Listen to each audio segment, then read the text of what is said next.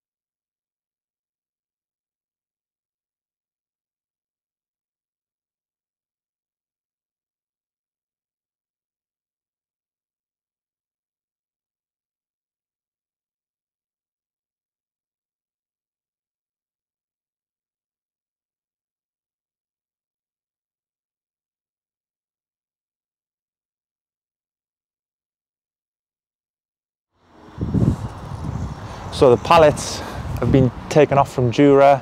We've still got the work van here. Um, I'll just show you the scale of what's arrived. So I think there's about two, three ton of metal in here. So I'll just walk around real quick.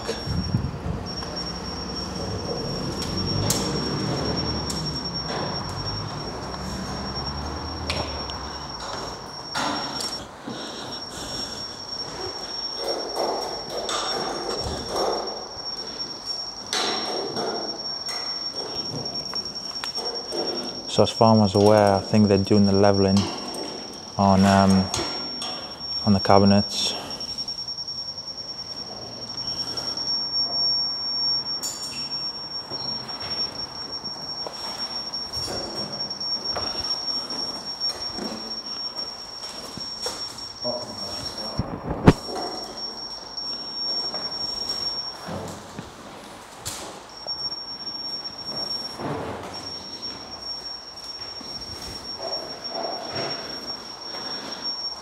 Most important part of the installation.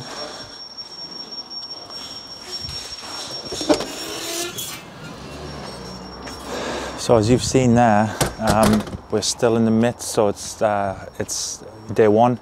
So they're just doing the leveling on the legs so they can actually push everything back.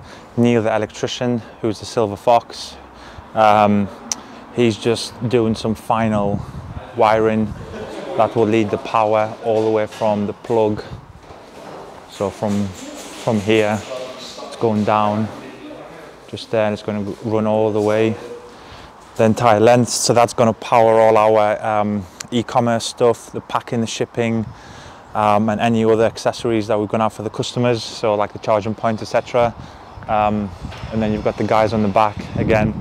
Leveling it first then they're going to start bolting it in but in the meantime as well as they're doing that you've got again the electrician he's feeding the power at the back now for the washing machines um, because we're still going to keep the washing machines inside the unit um, but they're just going to be inside the cabinets now. So we're drilling into the cabinets um, so everything's hidden and it's going to be flush. So I'm excited to take you through the whole thing. So I think this is going to be well I've, I've booked a week for this. The thing is going to be done by Wednesday slash Thursday maybe. So depending on the time that's been spent today on it. Um, again, Dura. Um, I'll be doing a standalone video on the cabinets anyway in a week's time, I think. But so far it's looking good. If anybody's been here in person and seen how a unit looked before, um, it's a mess. It's a mess, but we'll get there.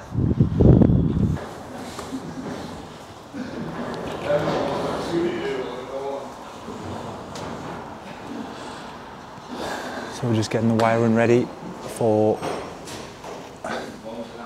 for the power points. So we've moved it from here, obviously through the wall. It's going to go down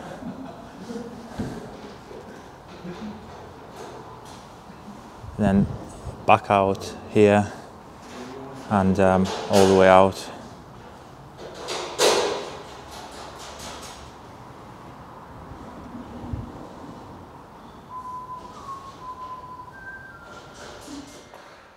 Hi guys, welcome back. We're glad to be back. Um, so the unit's now finished. As you've seen, there was a lot of work involved in getting this place done. So now it's all completed. I'm gonna walk you around the whole place show you exactly what is what and where is all the things now. So, as you can see behind me now, the units are complete. LED lights finally installed underneath, um, but I'll walk you around through as you walk through the door and show you. So, finally, everything is complete. Um, loving the new unit. So again, we had the door painted black, as in the previous videos, if you remember, it was blue. So products on the shelves looks great. So basically, yeah, the slat walls um, are finally in. We've had a bit of a mess around with the shelves. Now, there's a lot of options for shelves. Um, so we decided on the glass Um, they're not cheap, as you can imagine, it's that toughened glass. Um, there was like wood, any color you want, or I think it was plastic perspex shelves. But anyway, the glass is in. Um, so on this wall, you've got the compact range. This wall, you've got the full 500 mils. And on that wall, you've got the accessories and a bit of merchandise and accessories as well on there. Um, if you pay close attention, so you've got the five liters on the floor, we've got the t-shirts. They're still not live on the website because new website is coming as well. So they'll be launched on there. We've got a full set of Wheel Woolies, accessories, all the sizes. We, we co-branded with them on this one, so they are literally the best in the world. Um, now, in fact, let me take you through. So as you walk through the door, the first thing that will hit you on this side is basically you've got a breakfast bar style setting so this is the customer side. Obviously you've got the nice fridge there as well, full of drinks, nice chairs, brand new coffee machine as well. So the purpose for this was when a customer comes in, if you've got, let's say, a car in the bay, they can see it, they can potentially watch us work. If you've got any training events, um, again, you could sit this side, enjoy yourself and be comfortable. That's the main thing. Um, so yeah, that is literally it here. Um, each, each point has got charging. I know you can't see it because everything's been matched in black, but we've got all the charging points for the customers. Um, as I said previously a couple of weeks back, um, our electrician has literally plumbed or wired, I'm sorry, all the electrics underneath this. So Let's go around the other side and I'll tell you why we did what we did with this side. So this side, as you can see, is a completely different array of cabinets. Um, and this is done specifically for us um, for the distribution side. Now, we're pushing now into almost seven countries. Um, obviously Spain, we've got a guy in Northern Europe, so I won't tell you which country just yet. Um, but he's from that specific HQ, he's doing five countries surrounding. Uh, so if you look on the map, you'll see which countries I'm talking about. Um, so in terms of the distribution, we've got South and North Europe now. We've got potentially other places on board as well. So this was really important for us. Um, so me and Kelly could literally, almost like in an airport scenario, start here and move all the way across the deck packing and shipping. So I'll open a few cupboards. I won't bore you with the details, but for example, loose fill, tape, accessories, stuff like that is in there. You've got our whole shipping side in this middle cupboard. So we've got the printers all good to go, always live. You press a button, labels come out um, with DPD. So that's perfect. Again, we hold anything with shipping or for the customers this side. Um, so like triggers, bags, anything like that. New POS, so point of sale system, um, complete integrated into the worktop, but it's movable. And of course, as a present with a new unit, we've got the gold pens to match the gold signs. Um, as I said, uh, where we at? So new coffee machine, Pressure washer remains the same. Air compression stuff here, polishes on the wall, still the same. Um, now moving on to the back cabinets. I mean, they look sick, really nice. Um, so they're custom built to fit the wall. As you can see now it's wall to wall, whereas in the past I think it was like from here to here. So nice unit it was, but of course it's improved. So the stuff on the back is specifically for us to be doing this work. So the detail inside, a lot of people have been asking us, I still do the detail inside because the picture's taken from over there. You couldn't see the ramp. So yes, we're still doing this. So we've cut it down to a one car bay now um, because of this. So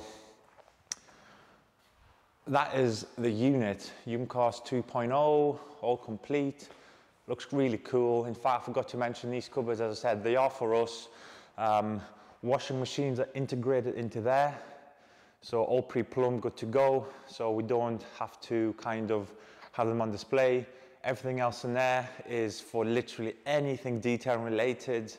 Um, any area is covered within these cupboards. That's more of an overflow cupboard as well. So we've got obviously our chemicals there, but if we need to stock anything else in that big cupboard and these ground floor cupboards mirror what is in the top cupboards, um, exterior, interior, all that sort of stuff. Um, so it's the unit complete. It looks cool, I think. So want to shout out to all the companies who have helped us with the build, the tradesmen obviously up here, the companies that did the walls, the shelving, and of course, the cabinets. I'm going to link them down below. If you've got any questions, a lot of these companies don't quote on their websites. So if you've got any questions, you can email me, Instagram, Facebook, anything like that about if you're not sure who to speak to with these relevant companies. But that's Dura, Henry Hall, and Dennis the painter. Um, also, electrician's probably the best you'll find. Honestly, he's really clean. Um, so thank you to all those companies that have helped us with the build, um, the people who've supported us moving everything. Uh, we had everything short of the floor up. In fact, well, we did have part of the floor up as well. Um, but there was a bit of a mess on the floor, so we had to clean that up. We literally detailed every crack and crevice of this floor. Um, but yes, thank you to the people who bought our old cabinets, our old shelves, sofas, everything went. Obviously, it was quite a big operation, especially moving the back cabinets because they must have weighed about a ton, uh, realistically. So all of those are gone. Actually, the people who bought my cabinets are in London. Um, I'm not sure if I'm allowed to say this, but these, well, they are the stunt drivers for Warner Bros. So, you know, the company that make all the all the films, like the big, big company. So yeah, that was them who bought it. Um, so guys, I hope you're enjoying the cabinets. Um, we don't wreck them. So yeah, guys, thank you very much. I will be doing individual videos. I will most likely do a standalone video on the Dura cabinets because there's a lot to cover um, about how it was all done, who we spoke to, the CAD drawings that happened, um, so most likely after this video, there will be a standalone video on the Dura cabinet. And again, awesome guys. So guys, thank you so much for the support and we're glad to be back. See you guys soon.